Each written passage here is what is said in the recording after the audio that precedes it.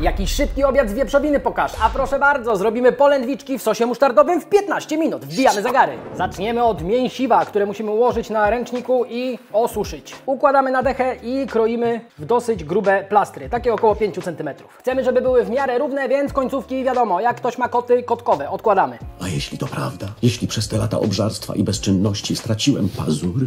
Pokrojone mięso rozkładamy na desce i doprawiamy od serca solą i pieprzem z obu stron. W tym, co mamy na desce, możemy też sobie obtoczyć boczki i lecimy z tym na patelnię. Jest porządnie rozgrzana, na dużej mocy wjeżdża oliwa. Dajemy jej chwilę, żeby też się nagrzała i układamy mięcho. Smażymy dosłownie 2 minuty, na każdej stronie obracamy jak będzie złota. Mięso mamy ładnie obsmażone z obu stron, więc ściągamy na chwilę z patelni. Na rozgrzaną patelnię wlatuje śmietana 30-36%.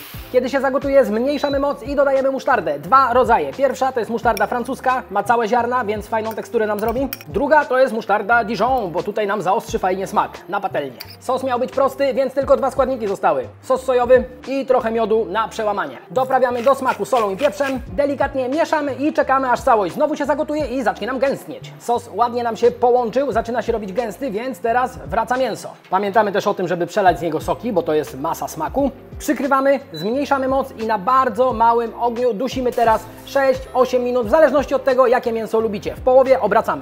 Jak mięcho podduszone, to jeszcze dosłownie na moment. Z patelni dorzucamy drobno posiekaną pietruchę, mieszamy i czekamy dosłownie półtorej minuty, aż sos nam zgęstnieje. No i po chwili sos wygląda jak marzenie, możemy podawać. A z czym najlepiej? No z talarkami z ziemniaka i cebulką. Przepis macie już na profilu, także wbijajcie, zapisujcie sobie polędwicę, no i do następnego. Piona!